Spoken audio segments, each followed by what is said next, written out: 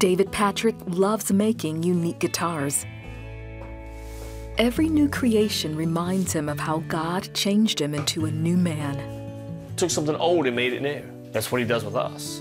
He took me as a mess and put me right back together. David grew up believing in Jesus and considered himself a Christian.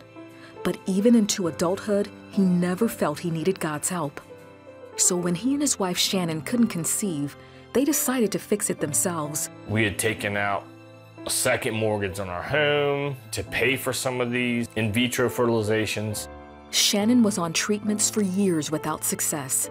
As the debt, stress, and frustration continued to mount, Shannon blamed herself. When all your friends around are getting pregnant and um, you know, you feel like you can't provide your husband with a child, a pregnancy. I just felt um, that something was wrong with me. David became angry with God. I would pray and say, you know, God, why can't you give me just one child? I'm not asking for much. Why, why can't you just make it happen? You can, you're God, you can speak it into being, you can snap your finger, you can say that it'll happen. The Patricks gave up on the treatments in 2002 and decided to adopt. That same year, David was in an ATV accident. He walked away with internal bruising and doctors prescribed Percocet for the pain. David discovered it had other benefits. It allowed me to escape from the issues of infertility, the issues of how I couldn't provide for my wife what she wanted. He kept taking the meds long after the pain subsided. When the prescription ran out, a friend gave him Oxycontin, a stronger, more addictive painkiller. It was a complete different feeling I'd never experienced before. Too good to describe. But it was a feeling that I knew I wanted to feel again. Now addicted, David started taking money from his dad's auto repair shop, the place he'd been working since he was a teen. His dad, David Sr., noticed a difference in his behavior. His eyes just, you know, just looked wild every time he started coming into work. And, you know, it's a question, what's wrong? What's, what's going on? At home, David's behavior was erratic, and he and Shannon's relationship became more strained. Then she found his stash. And my heart dropped.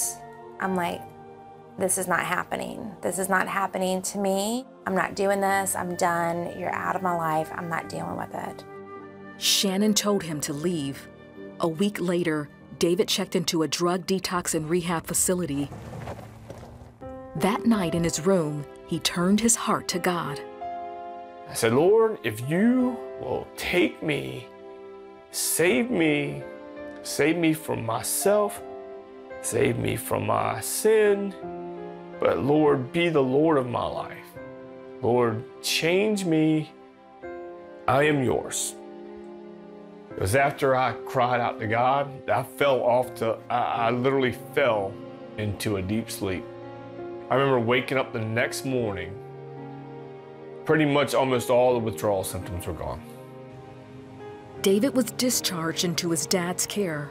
A month later, he returned home on the promise he would attend Narcotics Anonymous. The next thing he had to do was tell his dad about his addiction and the thousands of dollars he stole from the business. He forgave me. He just said, I love you, son. It's, I just want my son to be okay. I just want my son to get better. All of that was forgiven. You know, it was a love that I needed to do because he is my son, but it was the only way for him to start anew. David and Shannon started building their relationship again with each other and God. Then, after 11 years of trying, Shannon gave birth to a baby girl. When she was born, I was just overwhelmed with um, joy.